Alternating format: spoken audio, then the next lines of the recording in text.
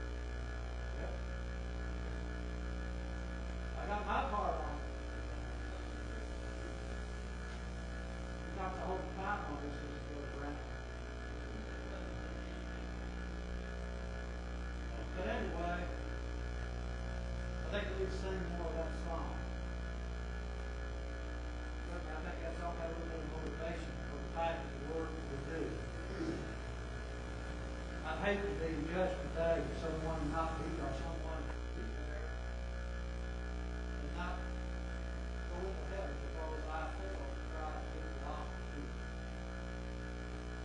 In some way or form or fashion, you do what you did.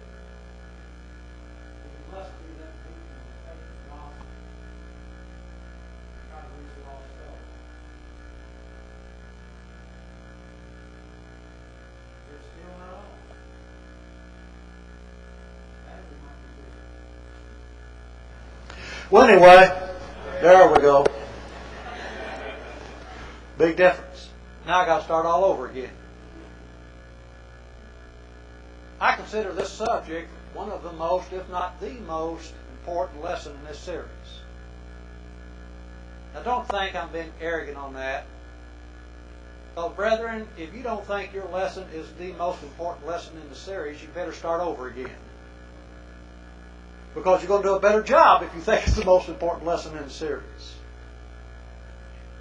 But because of all the ignorance when it comes to covenants, the religious world is divided today. kind of a hunt and pick way of trying to find your way of salvation. It was two years ago that Ricky and I was having a Bible study with a young family in Lewisport. A man and his son and a little boy was just uh, following every step that his dad made. If his dad did this, the little boy did this. If his dad picked up a pen, the little boy picked up a pen. And we studied, and on the third lesson, I usually have a lesson on covenants.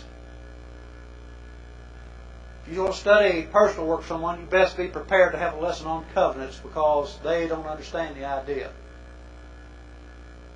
And we had the lesson on covenants, and he says, You mean to say that, that we're not supposed to keep the Ten Commandments? And I go, Yeah.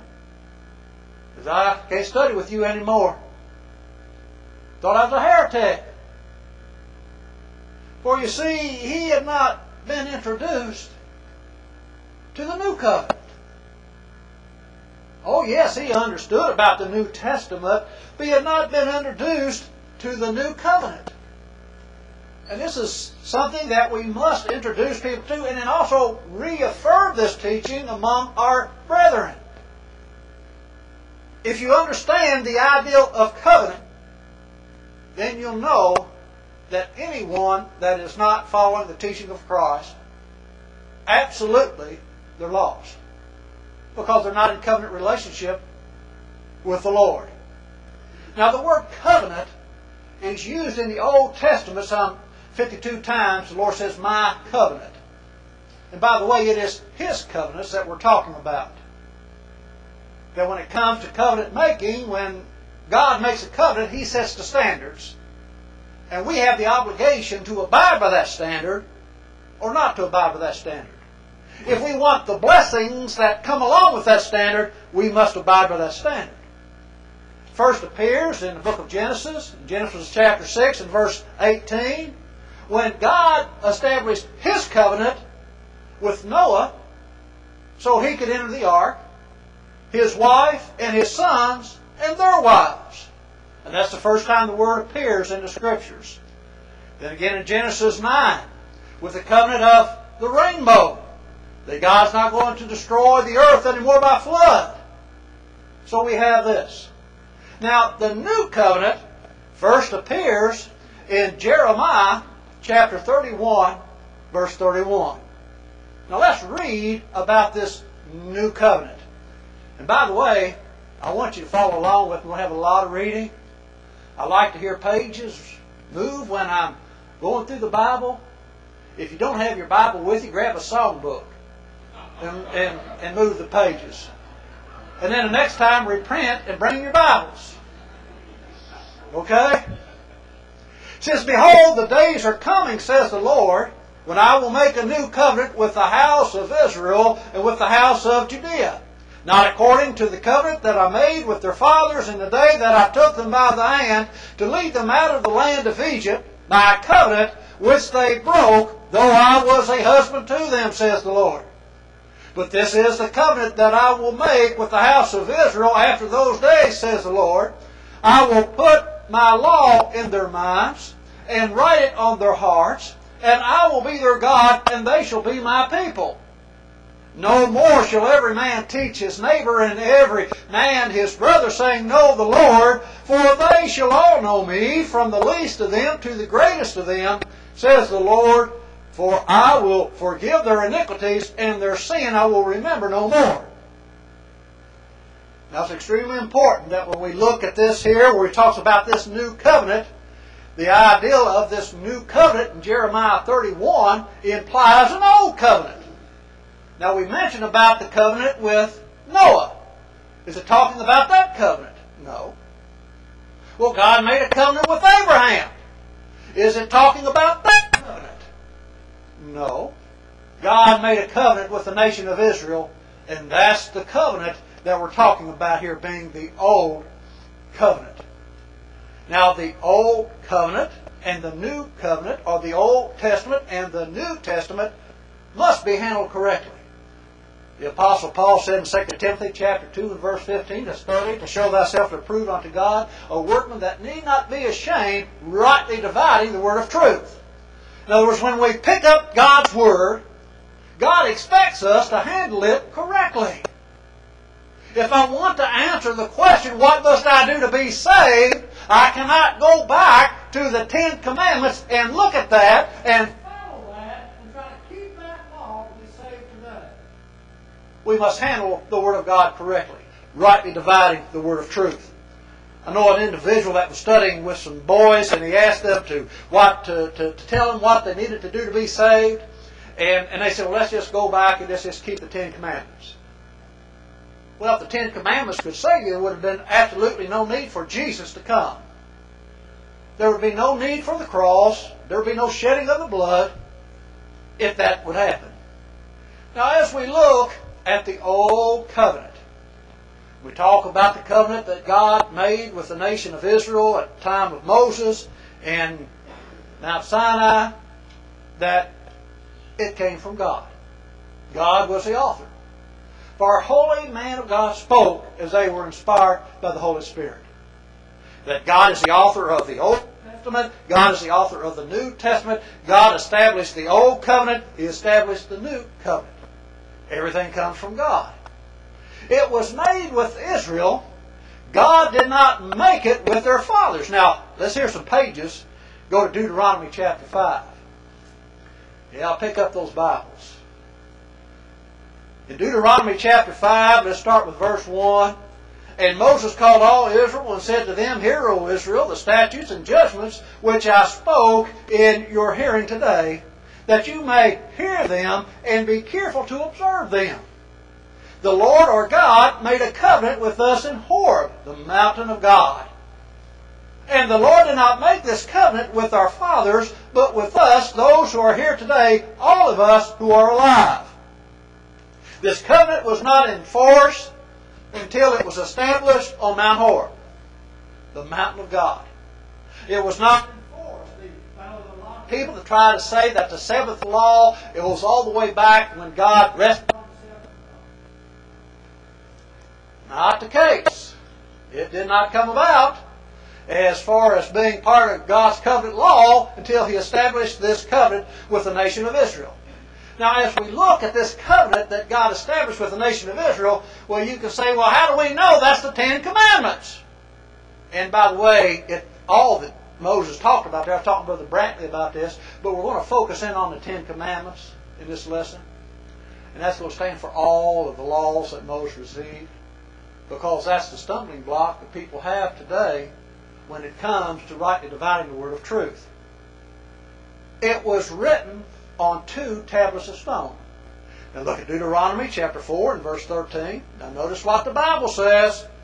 And so he declared to you his covenant, which he commanded you to perform the Ten Commandments, and he wrote them on two tablets of stone.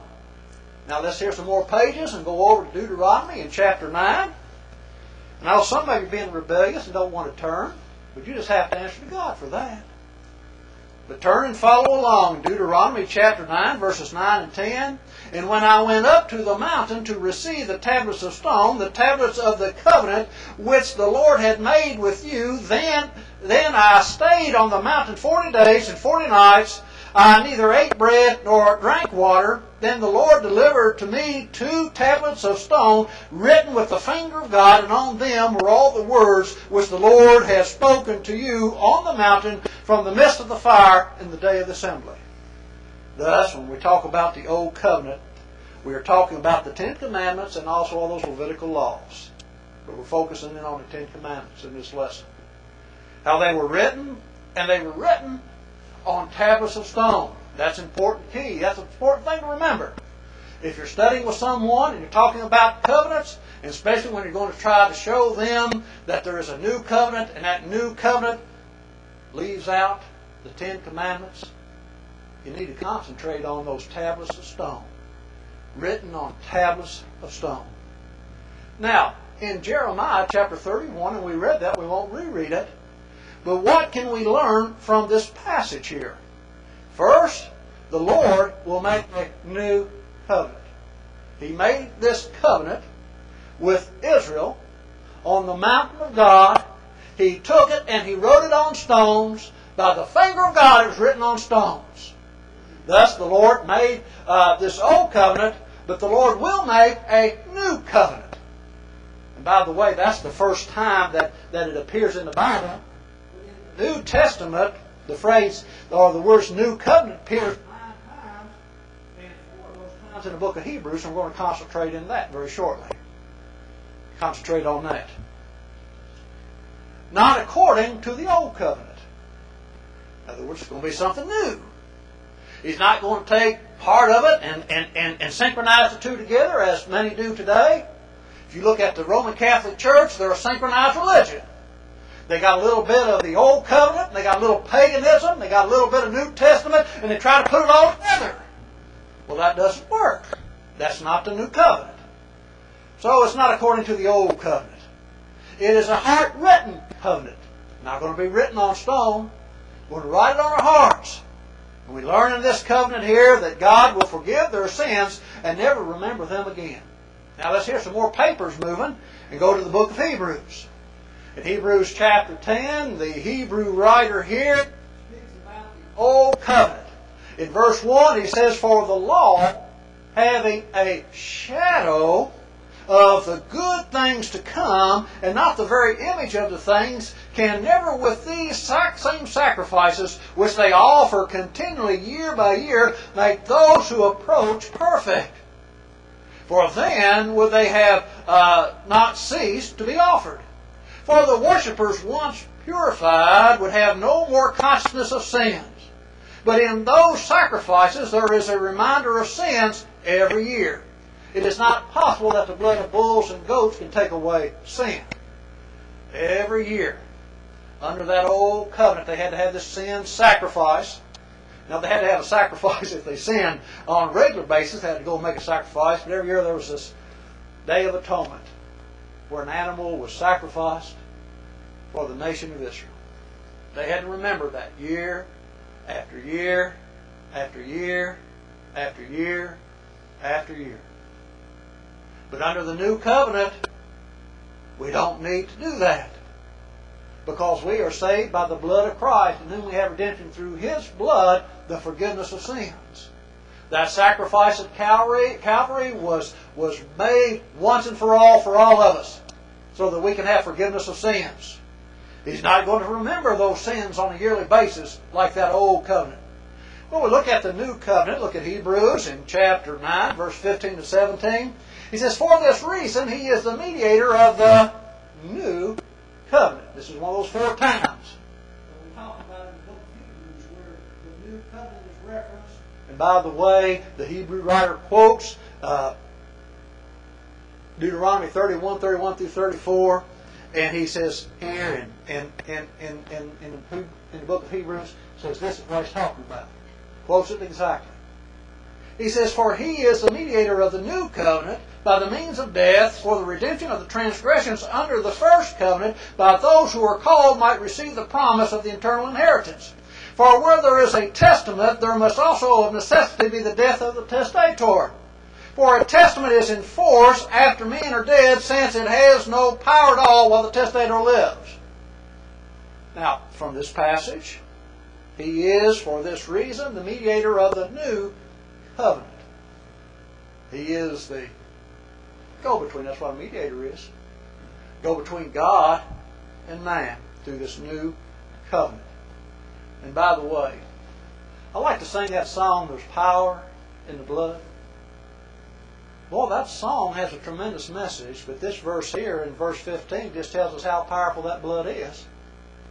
For that blood is retroactive.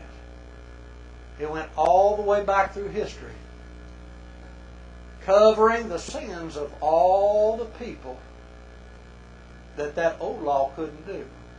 Remember now? They had to have a remembrance of sin every year.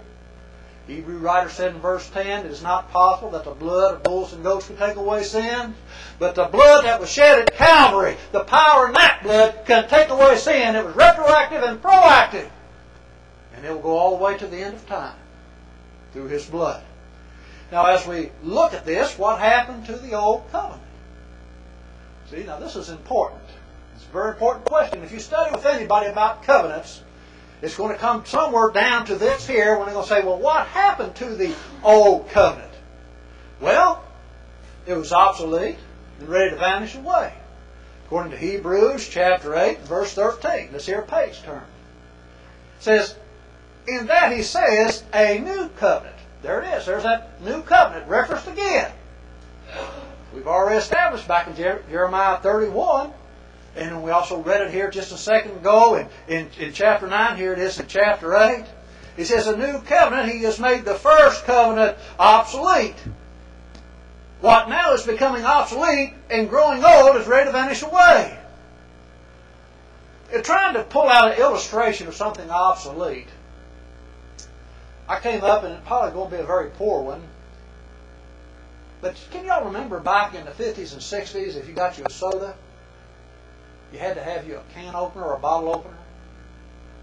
Had a bottle opener on one end and a can opener on the other. It's in a can. You open the soda with the bottle opener or the can opener. And companies would make those things, and give them away, and use them as a way of advertising. Well, why don't they do that today? I mean, that's a very cheap form of advertising. Well, people make fun of them, wouldn't they? Well, that thing's obsolete. What bottles are we going to open up today? We just twist the cap.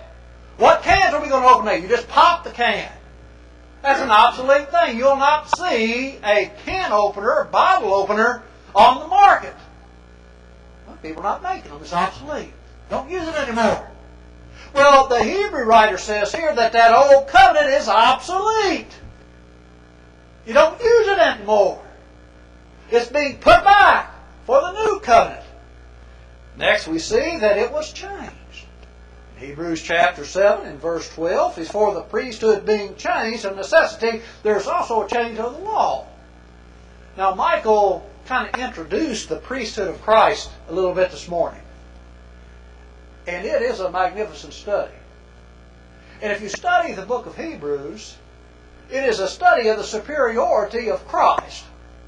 Superiority of Christ over the prophets, the very first three verses. The study of superiority of Christ over the angels. The study of Christ's superior priesthood over the Levitical priesthood. That Jesus is a priest today according to the order of Melchizedek. Not according to the order of Aaron, because under that old covenant, for a person to be a priest, he had to be of the tribe of Levi, descended from Aaron. And the Hebrew writer goes to the extreme saying, hey, Christ is our priest today. He was of the tribe of Judah, therefore, reason will tell you that we have to have a new covenant. He couldn't be a priest under that old covenant. So it has changed. So that we can have Jesus as our high priest. Aren't we all glad of that? That we have a high priest today who can sympathize with our sufferings and our temptations because he lived and was tempted and he did not sin. Next, we see that it was annulled because of weaknesses and unprofitable. Look at verse 18. For on the one hand, there is annulling of the former commandment because of its weakness and unprofitableness. In other words, to annul means to cancel out completely. That's what that means. In other words, that old covenant, that law of Moses, those Ten Commandments were annulled, canceled out completely.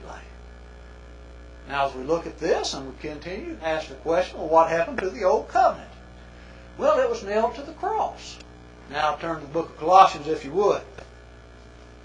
And we want to look at Colossians in chapter 2 and verse 14. Having, right, having wiped out the handwriting of requirements that was against us, which was contrary to us, having taken it out of the way, having nailed it to the cross.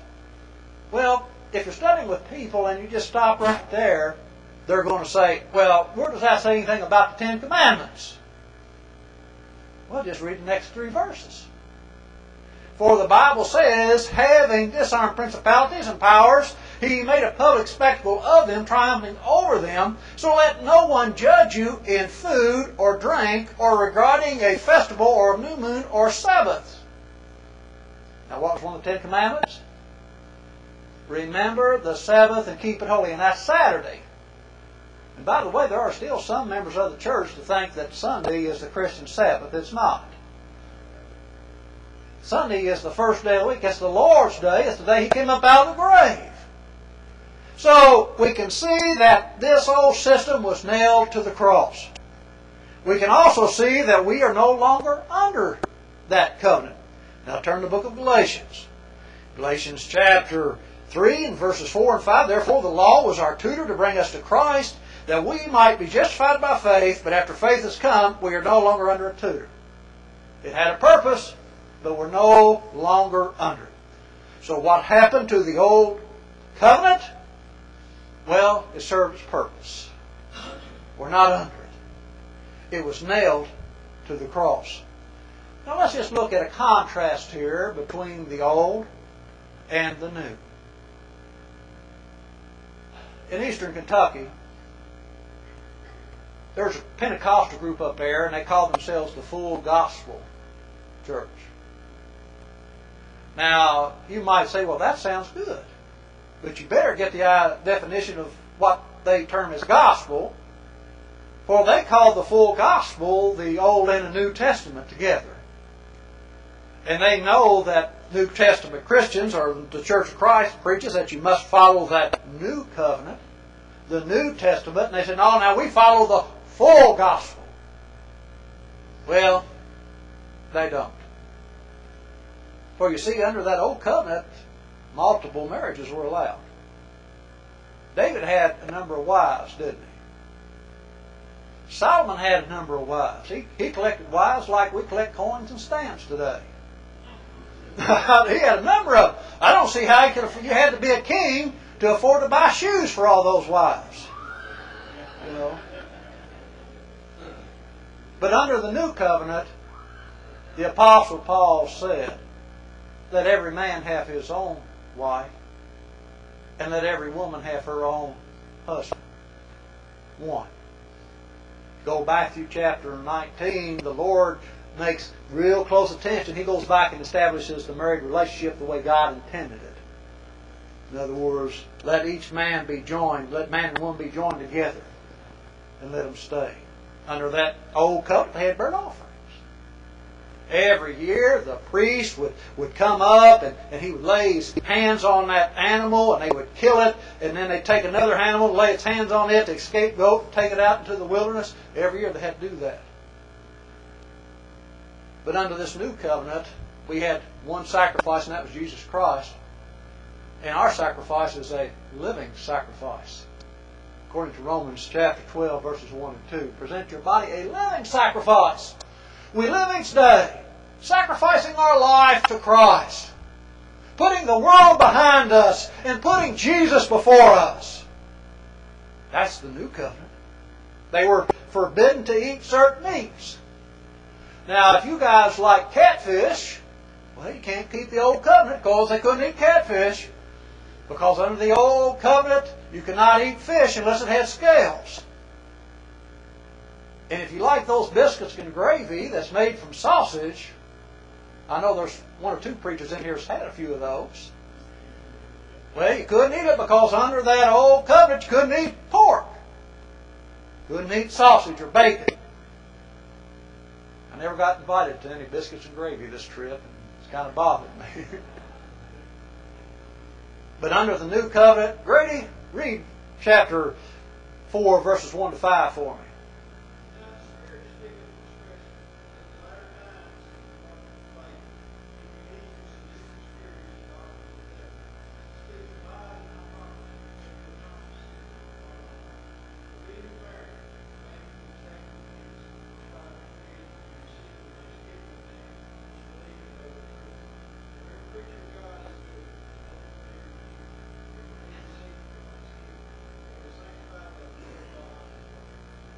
Aren't glad that's in there?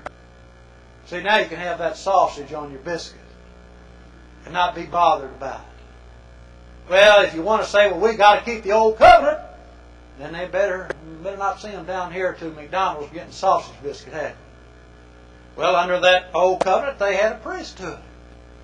Aaron was a high priest, and the high priest traced himself back to him. But yet, under this new covenant, Jesus Christ is our high priest. For there is one God and one mediator between God and man, man Christ Jesus. That's what the high priest was, a mediator.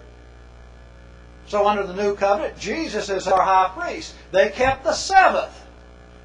Well, we saw, as we read there in Colossians, that the Sabbath was nailed to the cross. And under that old covenant, they killed the children. I'd like to see one of those guys that say we keep the, the, the full gospel, or, or some of those people that stick the Ten Commandments up in their front yard say we keep the Ten Commandments. Because if you keep part of the law, you have to keep all the law. And according to Deuteronomy chapter 21, 18 to 21, if a man and a wife had a rebellious son, they were to take him to the elders of the city. Look, our son here, he's rebellious, he's a glutton, he's a drunkard, and they stone him to death. Boy, wouldn't the news like to pick up on something like that? And that's just not being happening today because I guarantee you it would be on, on your 6 o'clock news or 5 o'clock news, and they might even have breaking news on that one. So and so had the elders of the city stone their son to death because he was a drunkard. Well, it'd keep the morticians pretty busy, wouldn't it? But today, we don't put our children to death. We patiently, kindly work with. Not that they didn't do it back then, according to Deuteronomy chapter 4, they were to teach their children. Under the Old Covenant, they kept the Ten Commandments. Now open your Bibles to 2 Corinthians chapter 3. This is a long reading.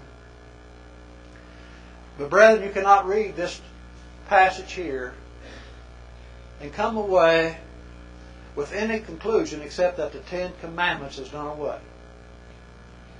Starting with verse 6, who also made us sufficient as ministers of the new covenant. There it is again. Introduced back in Deuteronomy chapter 31, or in Jeremiah chapter 31. We've already picked it up in Hebrews. Here it is in 2 Corinthians. He says, We're ministers of the new covenant, not of the letter, but of the Spirit. For the letter kills, and the Spirit gives life. But if the ministry of death, written and engraved on stones, now, remember when we read back here in Deuteronomy chapter 4 and Deuteronomy chapter 9 about the covenant that was written on stone, written with the finger of God, and that was the Ten Commandments? That's the only covenant that's written on stone in the Bible that I'm aware of. Are there any others? No. Only ones written on stone. So we're talking about the Ten Commandments here. Now let's start verse 7 again. It's important. And if the ministry of death, written and engraved on stones, was glorious, so that the children of Israel could not look steadfastly at the face of Moses because of the glory of his countenance, which glory was passing away, how will the ministry of spirit not be more glorious? For if the ministry of condemnation had glory, the ministry of righteousness exceeds much more in glory. For even what was made glorious had no glory in this respect because of the glory that excels. For if what was passing away was glorious, what remains is much more glorious. Therefore, since we have such hope, we use great boldness of speech. Unlike Moses, who put the veil over his face so that the children of Israel could not look steadfastly at the end of what was passing away, but their minds were blinded, for until this day the same veil remains unlifted in the reading of the Old Covenant because the veil is taken away in says that Ten Commandments, written and engraved on stone, is taken away in Christ. Brethren, you need to be prepared to teach people that. That's powerful passage when it talks about this new covenant. This new relationship that we have. And by the way, God knew when He established that old covenant that the new covenant was coming. From the foundations of the world, talks about in the book of the Ephesians, talks about the church was the mind of God from the foundations of the world. So there's a big contrast between the old and the new. Well, what purpose of the old covenant? Now let's go back to the book of Galatians, if you would. In Galatians, in chapter nine and verse chapter three and verse nineteen, it says, "What purpose then does the law serve?" See, that's the question. What the purpose of the old covenant? What purpose then did it serve? It was added because of transgressions till the seed should come to whom the promise was made, and it was appointed through the angels by the hand of a mediator. The law had a purpose. It was to bring the Jewish people to the seed, to the Christ. So they can have their sins removed and not have to offer those animal sacrifices year by year. Can you imagine all the animals that were sacrificed under that system? All the blood that was shed. And then imagine the blood. Well, as John the Immerser said, Behold the Lamb of God that takes away the sins of the world. Well, what purpose then? The purpose of the new covenant. I'm not ashamed of the gospel of Christ, for it is the power of God unto salvation. That's the purpose of the new covenant. It's God's power to save. Let's just repeat that. It's God's power to save. This is why Jesus said, I am the way, the truth, and the life, that no man cometh through the Father except by me. You can't go by the Ten Commandments. No, you got to go by Jesus Christ. You can't go by animal sacrifice. No, you got to go by Jesus Christ. You can't go by Mohammed. You got to go by Jesus Christ. Can't go by Buddha. You got to go by Jesus Christ. Brothers and sisters, we can't go it on our own. For in that new covenant we have salvation.